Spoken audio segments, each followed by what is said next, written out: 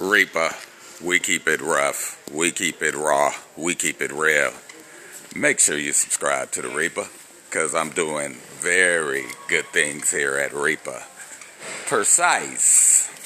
Is he Corey Holcomb's sidekick? Because I see a lot of things going on, and I hear a lot of things going on, you know, uh, on the net that Precyse is Corey Holcomb's Yes Man and sidekick, the Reaper Keep It 1000, and so is Marcus. This is what I hear, you know, on the web. Now, they are Corey's sidekicks, right? You know, uh, I always thought that Marcus would take a bullet for Corey, the Reaper Keep It 1000, because he just was thirsty to be on the show and Marcus is still trying to work on being a stand-up comedian but I don't think he has what it takes but you know hey you never know. You could get better at something. The Reaper keep it 1000 and Precyse I guess he's a singer or something rapper music guy or whatever you know I think that uh, I think Precyse got a little bit of voice or whatever, but I think he's loud, he's obnoxious, and just nothing comes out of his head, you know, sometimes that's credible, and he over talks people, you know. Um, is he a talented guy? Uh, used in the right way, he could be. I just don't think on that comedy show. Uh, it fits him, the Reaper Keep It 1000.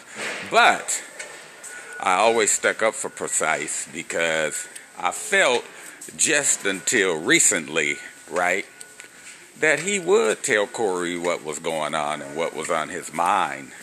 Because remember in the Charlemagne incident, you know, um, you know, Precyse spoke up and said that Charlemagne was wrong, you know, uh, for coming, you know, at um,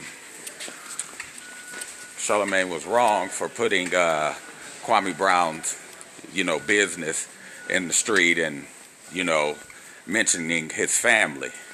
And he deserved everything he got when Corey was trying to cake for Charlemagne because Charlemagne gave him a check and Precyse has spoke up on a bunch of different other issues. He would speak his mind.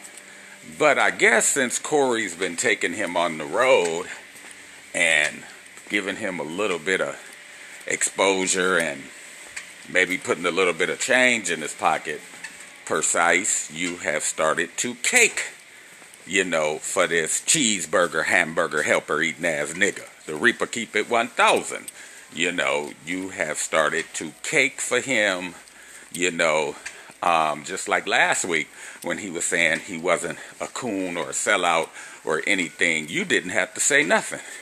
You know, oh man, I don't worry about what people think, man, because what people all that bullshit. but, uh, you know, you could have just stayed quiet.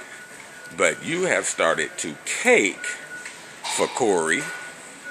And Marcus has been more of the stand up guy, I feel, you know, of late. Because Marcus will just say what's on his mind more than you will, you know, Precyse. So, you know, like, uh, you know, Nipsey Hussle say, don't let the money make you, man. Don't let the money make you. You know, you make the money, don't let the money make you you know, and Precyse has started to let the money make him that little piece of change because I know it's a little bit, you know, that uh, this uh, Dorito nacho eating nigga is giving you. The Reaper keep it 1000 because he always has a bag of chips. This barbecue potato chip eating, sour cream and onion potato chip eating ass nigga. He ain't giving you that much money. The Reaper keep it 1000.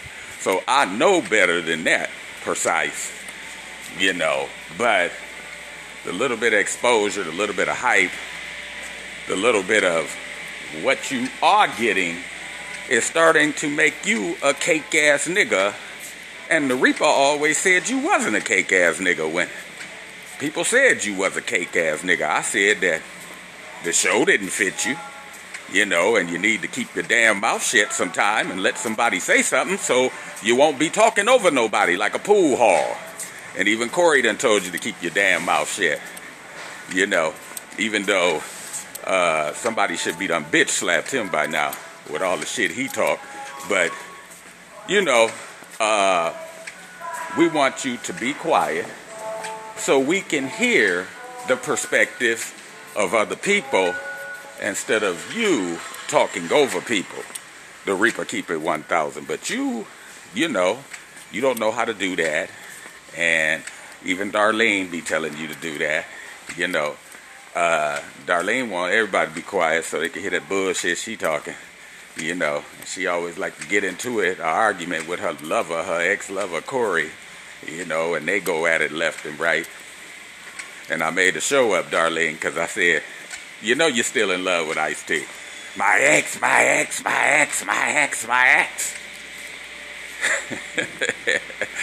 but, you know, I don't know what Marcus, what you doing now, Marcus, but, uh, you know, I think you need a job at Home Depot because Corey always talking about me doing being at Home Depot. You need a job at Home Depot because that cheap ass nigga ain't giving you shit. The Reaper keep it 1,000 because Corey's got a lot of alimony to pay.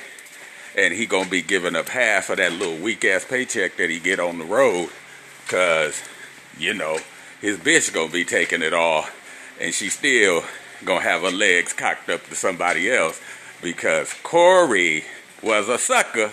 Old goofy ass nigga didn't even get a prenuptial agreement and moved his goofy ass from Chi-Town, you know, to LA, to LA without a prenuptial agreement. Like the bitch was gonna stay with you once they got out of LA and you fucking everything that moved. The Reaper keep it 1,000. You know, she wasn't gonna stay with you, nigga. You know what I'm saying? She was with you for the paper, but you know, Corey, my man Corey, thought it was love.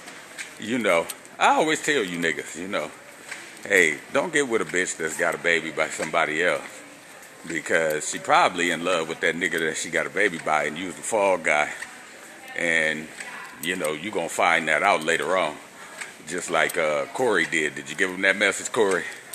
You always talking shit about somebody else and somebody else's bitch. Did you give him that lesson that it's not a package deal, Corey, cuz you know what? You thought that bitch was sprung on you. She knew you had some potential and talent or whatever, you know, to make a little piece of paper. And then, you know, that's a big thing when you're moving from Chicago to LA, you know. And you say you in the entertainment business. So she tagged along for a minute. And soon as she put some years in, she noticed she never had no kid by your ass. Because she said, I ain't having no kid by this Captain Crunch eating ass nigga. You know what I'm saying? This true can cereal looking motherfucker. I ain't having no kids by his ass, you know. Shit, but I'm gonna get the paper. You better be glad she didn't, you know. But I'm gonna get the paper. I want my walking papers just like everybody else, you know that get with a brother in the entertainment business. And this goofy ass nigga Corey didn't even get a prenuptial agreement and thought a bitch like that loved his ass. Reaper keep it 1,000. You and Karl-Anthony Towns should hang out. You and Karl-Anthony Towns, big pussy cat.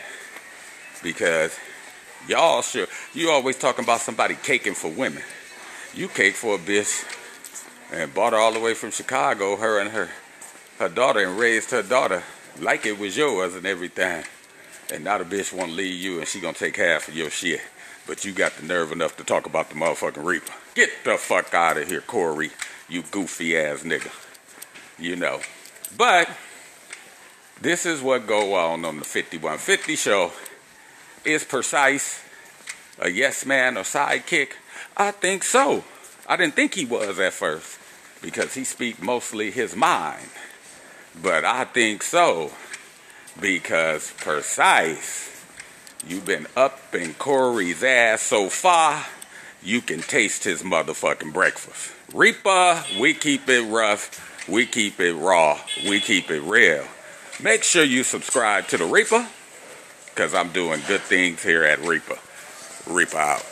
Peace.